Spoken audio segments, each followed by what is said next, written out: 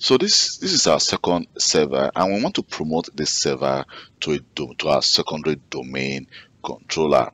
So what I did is I have already added the Active Directory domain service feature to this device. You can see there's a DC02 and this is actually the DC01 which, which has already been promoted to become our global catalog and also our domain controller that's the primary domain controller.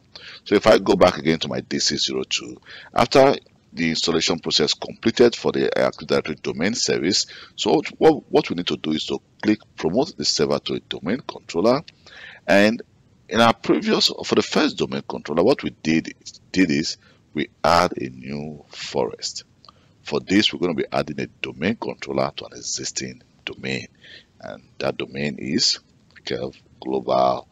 kelvglobal.com and now we need to actually supply the credentials for this operation so just click change and enter kelv global then administrator enter the password and then click OK. Now we need to select next.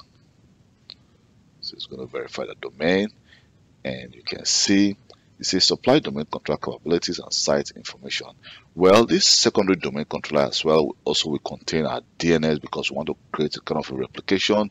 Uh, also our secondary DNS server and it's going to be as also a global catalog. So when the first server um, is shut down, so our second server can actually also perform the role of the DNS server and also the global catalog. And now you can see we can actually decide decided to add this server to become a read-only domain controller, which means that the server will only read information. You will not be able to edit this server or uh, edit information in this server. So we're going to actually not uh, check the read-only domain controller because we want to be allow want to allow the server to become a fully functional server.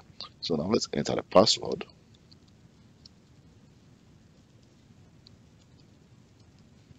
And then click next. So this error, just ignore this warning message. It's not an error, it's just a warning message. So let's just ignore that and then click next. And here you can see replicate from any domain controller.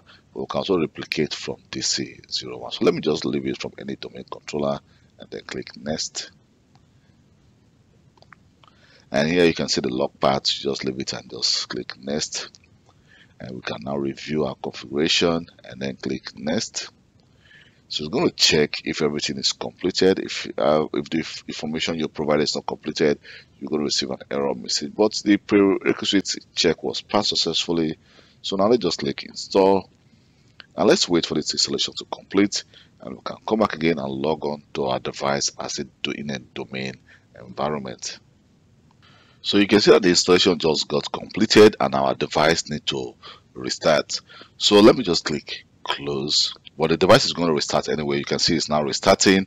And after restarting, we can now log on to, to our device in an, as a domain as Kelv Global Administrator. So after restarting our device, now you can see we can now log on to this device as administrator, but to the domain Kelv global. So let me just log on to this device. And if I go to my DC01, let me just go to my DC01 and then open Active Directory users and computers. And if everything went well, we're supposed to be seeing on a domain controller. Now we can see we now have two domain controller and they are both global catalog and here you can see the site is the default first site name. So that's the first domain controller which is this device. And that's the second one which is the device i just log on to.